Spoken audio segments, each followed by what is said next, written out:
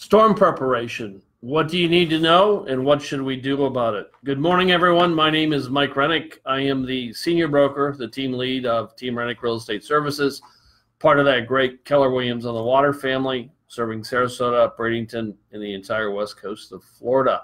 Welcome to the October 19th edition of Insurance Time. With me is Michael Malliard. He is the owner agent of MIC Insurance out here on Longboat Key and also one of the most knowledgeable insurance people person that I've ever met. Michael, good morning. Good morning. We're going to talk about storm preparation, which is very appropriate for this time of year and Yes. this part of the country. Yes. So go ahead.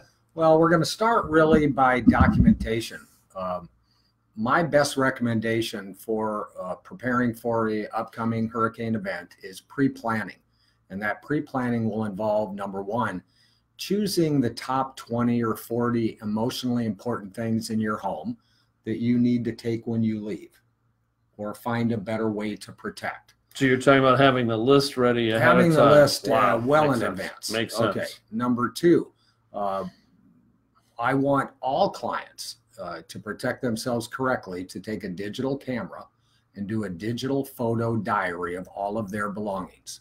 Now, this sounds somewhat onerous, but it's not. Uh, with the digital camera and the uh, quick bounce back speed of cameras today, you can take a picture every six to eight seconds. You can do a 2,000 square foot home in 45 minutes or less. And I'm talking detail. I'm talking opening every drawer. Pull the drawer open, click a picture. Don't think about the value in the drawer. It's all about the cumulative effect of value. Okay Mhm. people say well don't take pictures of my my tool area well yes it's value don't take pictures of my clothing well it's value i want pictures literally of everything in the house uh, i want those photos then either emailed directly back to the client themselves Mhm. so that they have a permanent record of those photos it is very easy with a picture to say i had grandpa joe's uh, desk Mhm. what did it look like? Well, here's a picture.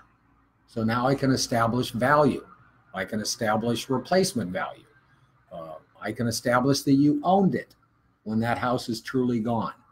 So a digital photo diary of your all of your interior belongings and any unusual fixtures or features of your home should be photographed and maintained so that you can get to them appropriately without dragging things around the country. So let, let's talk about the camera, and it takes time to do this. Smartphones have great cameras today. They do. So if you use your smartphone and you shoot all these photographs, that will suffice. That would, but uh, my only concern is how can you in a in a reasonable sense transfer those photos individually to a longer lasting system. Okay. Uh, if I do it in a a disk drive, I can make a couple of copies of the disk drive and Right. keep it. Uh, I could have the plug the phone into, uh, uh, or excuse me, the phone or the computer or the digital camera into my computer and transfer those photos. And, a, and a phone has the same technique Yes, as a yeah, way to do right, that. right. So, So, so my take, how you take them, I don't care. Mhm. But having that list, because what you will be handed at time of loss, and this is really any loss, is a blank sheet of paper.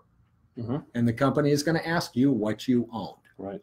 Now, if I take a photo of a closet uh, and I take photo of the clothing, it may end up being a vehicle for counts. Mhm. Okay, I Good might point. have 50 tops at 75 to 125 dollars a piece. I might have 30 belts, uh, but these are things that we accumulate over a long period of time that we don't associate with direct value. But at time of loss, having to replace all of those items So, is well, the goal. it's easy to procrastinate and not do this. In Of fact, course. I am personally guilty of that. What happens at time of loss when these records don't occur? the clients are really reliant upon their memory to generate that list, which I believe is going to lead to 50% of memory failure. Okay, that makes and, sense. And they're not going to get paid for items they don't remember.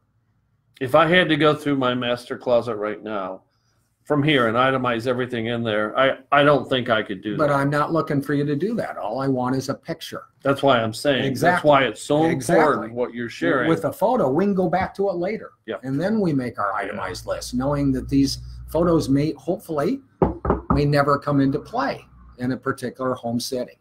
Uh, lastly, I'll talk about area, and I'm talking really about your structure and the area around it. Uh, anything that is not tied down, that is laying in your front, side, or backyard, is going to be a missile in a hurricane setting. Good point. So tree trimming, uh, proactive, which Michael, I'm sure you would uh, concur. We've seen dramatic tree trimming changes this year on Longboat Key Absolutely. compared to prior years.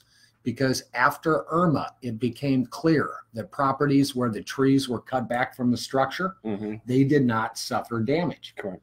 And other properties that had done a poor job of that had substantial issues That's right. not necessarily from the wind directly to their building, but from flying debris, tree limbs, etc. So having that sort of policing the outside area in your home uh, to prevent uh, damage that we can really put away. Let's put away all that outside stuff. Let's throw the chairs in the in the pool. We don't want stuff flying around. So preparation, uh, documentation, and the ability to retrieve that info. Now, lastly, I, I have many clients talk to me about Mike. I'm heading north. I'm, I'm fleeing a storm. I need to take all of my important documents. Well, this is something that I say I, I somewhat chuckle because my perspective is six months ago, you should have emailed, scanned, and emailed all of those yeah. documents to yourself. So you have to take no paper. There's not, there, you don't need to take paper. So, So, so when you do the photographs and you do the scanning like you're talking about, you can save it on your computer. If you have a computer that may or may not go with you, you can put it up to the cloud, the Google Exactly. Cloud. There's so many different ways, and actually, I would argue as an IT person that I'd want a copy on my laptop and up in the cloud. right. And it's easy to do that. We can provide information on how to get free access to space in the cloud. But like Mike is saying, these are things that we hope we never need. Right. So we keep procrastinating. So let me give you my opinion. The best time to do this was a year ago.